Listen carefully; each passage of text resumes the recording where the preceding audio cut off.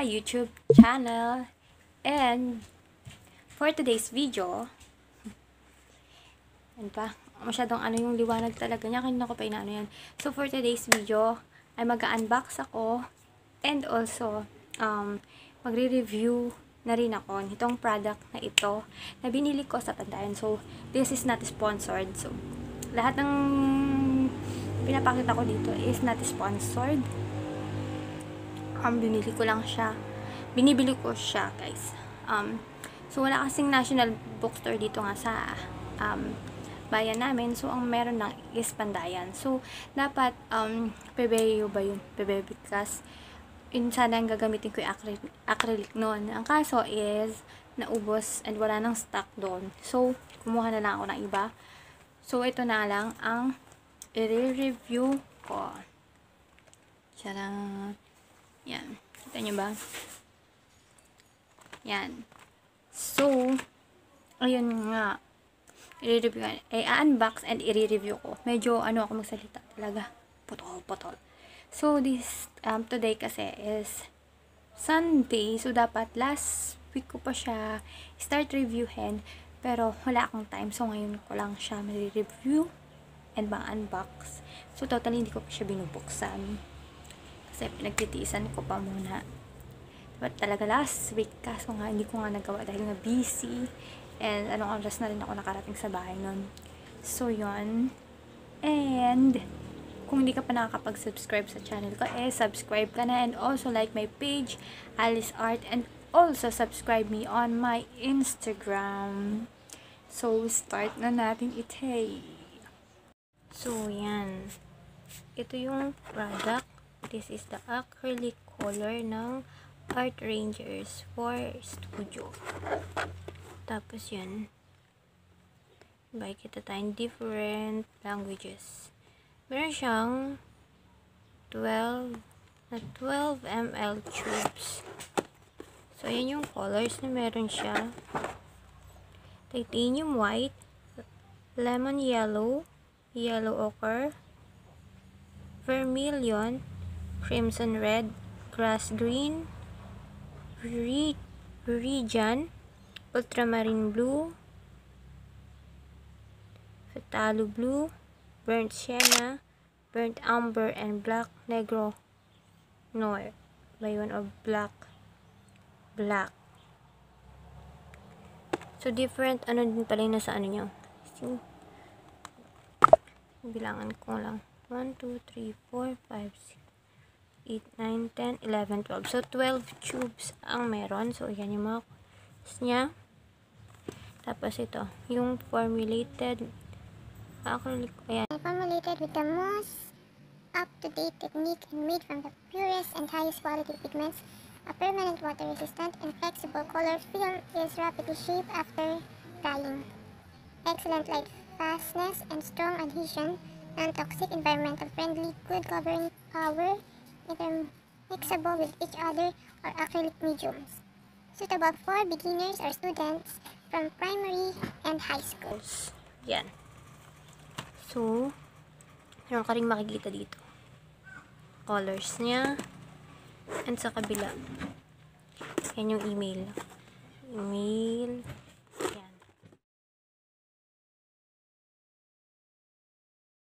So, ayun, sorry guys. Um, akala ko na i-record siya. Nabuksan ko na siya.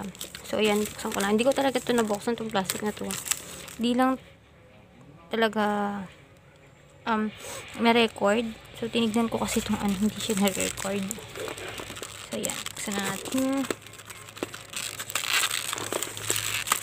Plastic. So, naka-plastic siya. And lalagyan niya lang is um, ganito lang. Karton siya. Tapos ito. Ganyan siya. Yan. Tapos, makikita nyo dito is yan. Ako, ito ata logo nila. Yan. Tapos, meron na siyang name dito. Yan, black or negro, nowhere. Kasi yan. Tapos, ayan. 12 ml siya. And, ganito yung itsura niya. So, silyado pa siya, guys. Silyado pa. So, yan. May mga names na siya. Tapos, ayan. Um, lang 1, 2, 3, 4, 5, 6, 7, 8, 9, 10, 11, 12. So, 12 colors. And 12 ml lang siya. So, swatch na natin siya. And, ayan, dahil wala nga ako makitang papers na pwede kong gamitin. Hindi ako nakakalkal kanina. So, ito na lang. Um, folder. So, kukuha lang ako ng brushes. So, ito, ayan. Wait lang. Ay, hindi nyo ako marinig. Yan. Parang, naka-ano kasi ito eh. Ayan. Naririnig nyo na kaya ako masyado. Yan. So, ang gagawin ko, ang gagawin ko, is um, bubutasan ko ito. Yan. Open ko lang siya. So, yan. So, bubutasan ko na siya.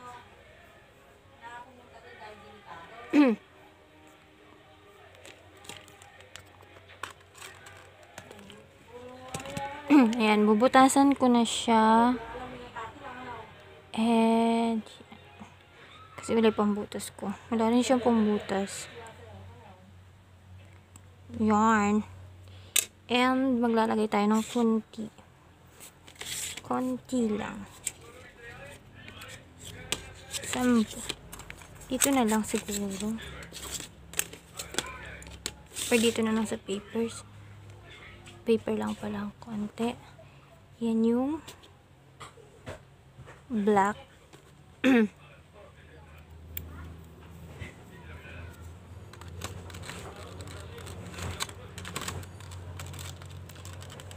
yung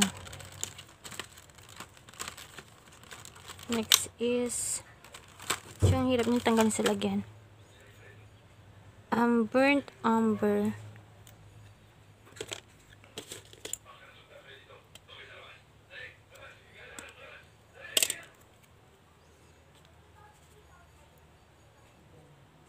Yan. if hindi ko magawa today. Yung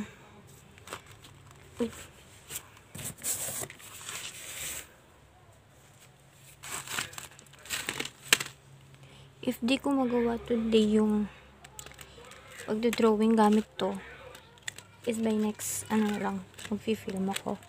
So pakita ko na lang muna yung mga swatches nila. Next is burnt sienna.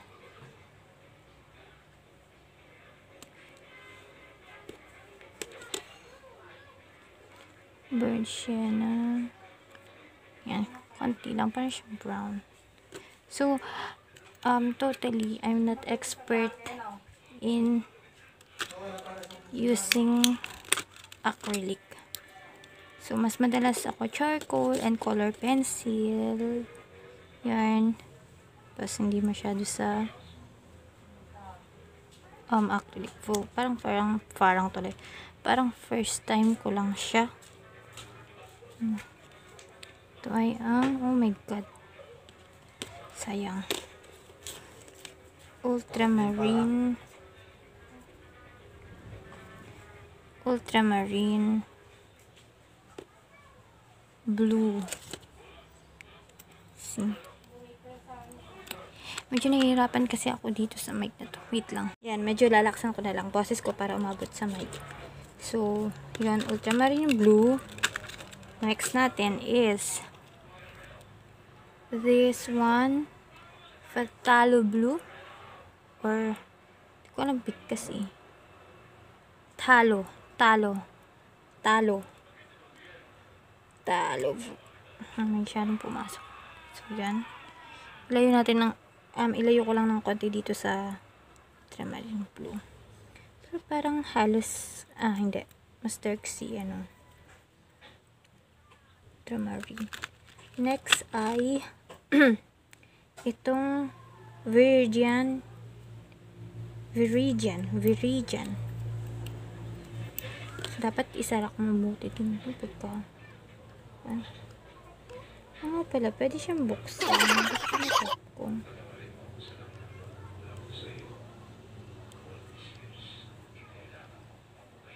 pwede yan pala ng ganito ang kuba self pero natin yan yan. Para mas control pala. Ako yung siya buksan. Okay. Ano pa yan? Yan na lang. Um, ito kasi is pwede kong, kaya binili ko to. Is bala ko siyang gamitin para sa pan-drawing ko. Ay, hindi lang pan-drawing. Para sa ano, um, keychain. Yung sa eyes ng keychain, mga chibi. Yan. Kaya bumili ako ng ganito. Isa bumili ako ng isa-isa. Ito na binili ko. So, this one is grass green. So, bilisan ko na. Ites para matapos na tayo. This one is crimson red. At pala pinagbubukas ko na to, no? Tatagalan ako dito. Yan.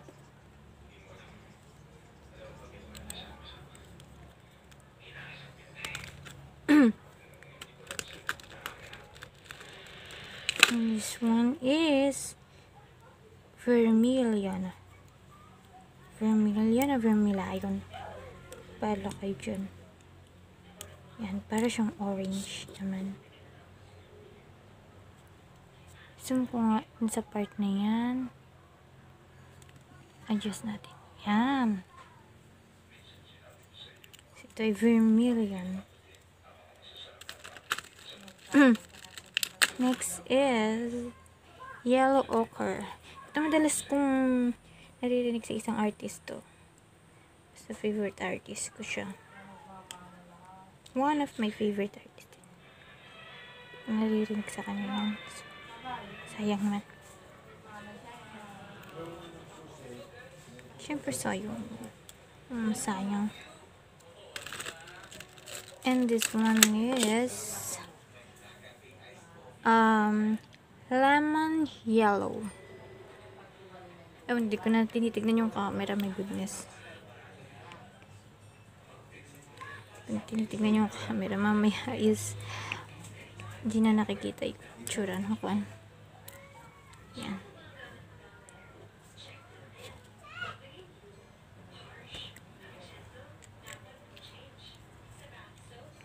Wala yung maganda kong palette. So, ito isang palette ko is, ano siya. Nagkamali kasi ako nun, kaya may mga black top siya. Pero okay naman, malinis naman yan. And this one is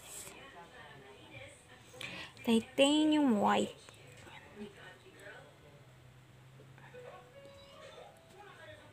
Yan. So, hindi ko nagagawin yung ginagawa ng ibang ano. Wait lang. Tingnan ko lang dito sa packaging if ano siya.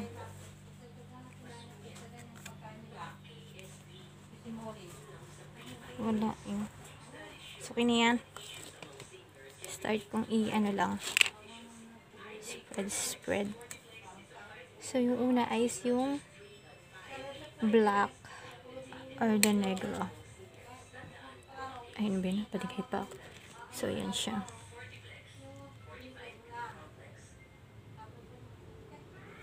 Yan. Hmm. Sarap yung sa brush. Tapos napaka ano niya, marami na din siya, pigmented siya. Ha? Ang dami na pala, kahit konti lang ilagay mo. Diba? Pigmented siya. Tapos next natin ay ito burnt umber. Oh.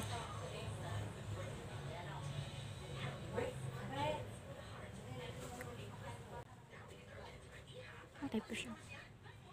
Next is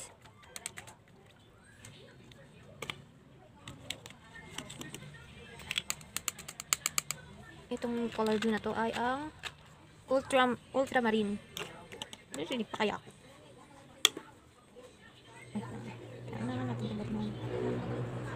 Ay, wait lang. Before ultramarine blue, ayun tayo eh. Burnt sienna muna. Burnt sienna. Then next ay ultramarine blue. Next. Ito ay acrylic, hindi ano watercolor. Next is talo blue. Talo blue. Ayan. Parang medyo ano sila. Pero sa personal, parang siya may pagka-green. Ganun. Parang may pagka-blue-green. Ganyan color niya. Next ay um Veridian. O Veridian. Veridian. Masyadong dikit-dikit sila. Green.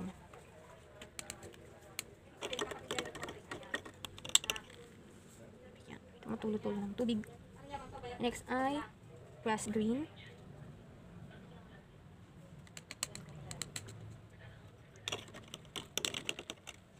Next ay crimson red.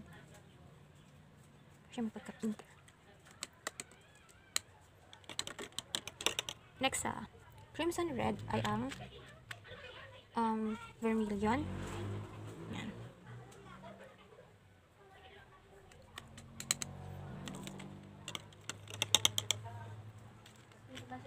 Yellow. Yellow ochre. Siya, madami-dami to. Yan, yellow ochre. Tsaka na-in-ear ko siya sa isa. My goodness. Next ay yellow na. Next ay lemon yellow. Kaliwa kasi ginagamit ko. Ano ba yan? Yan. Yan, yellow. Yan. Medyo tumigilim na ata mga kaibigan. Tayo ko ng konti. Next ay yung titanium white. Inisin natin mabuti ito. Brush. Titanium white. Ito lang siya.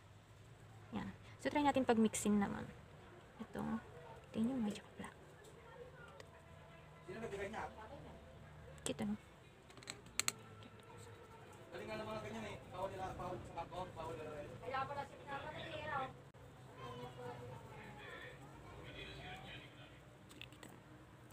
Ganda siya, maganda, maganda, maganda. Yan yung colors niya. Sorry na pag mix-mix ko, diba? So, try ko lang itong ano. Gusto ko tong color ng dalawang. Tapos, tingnan natin pala kung madali siyang matuyo. Okay. Yan. Madali siyang matuyo. Madali siyang matuyo, guys. Madali siyang matuyo. Tapos, yan. Katulad nitong color blue. Ultramarine blue. Try ko siyang lagyan ng tubig. Kung ano siya.